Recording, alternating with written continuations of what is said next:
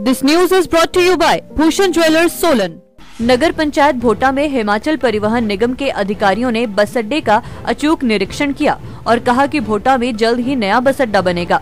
बड़सर के विधायक इंद्रदत्त लखनपाल ने कहा कि भोटा नगर पंचायत और बड़सर में जल्द ही दो नए बस अड्डे बनेंगे। भोटा में लगभग 40 वर्षों के बाद हिमाचल परिवहन निगम हमीरपुर ने अपनी छह कनाल, आठ मरले भूमि को चार दीवारी लगाकर कवर किया है। ये ज़मीन स्थानीय लोगों ने दान दी थी और अब यहाँ जल्द ही बस अड्डा बनाया जाएगा।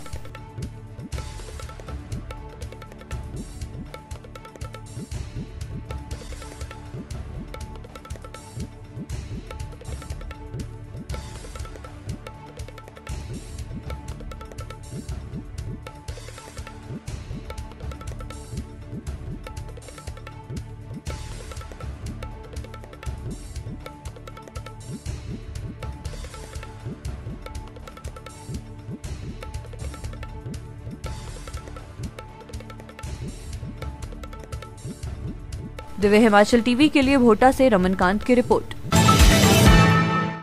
गुणवत्ता और विश्वसनीयता के लिए प्रसिद्ध अवार्ड ऑफ़ एक्सीलेंस से सम्मानित भूषण ज्वेलर्स में ग्राहकों के लिए आकर्षक डिज़ाइन युक्त ज्वेलरी उपलब्ध है।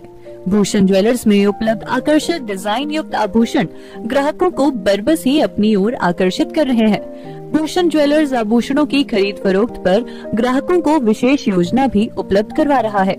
भूषण ज्वेलर ने गुणवत्ता और विश्वसनीयता के आधार पर हिमाचल प्रदेश सहित देश विदेश से ग्राहकों का दिल जीता है, जिसके लिए भूषण ज्वेलर्स को अवार्ड ऑफ़ एक्सलेंस से सम्मानित किया गया है।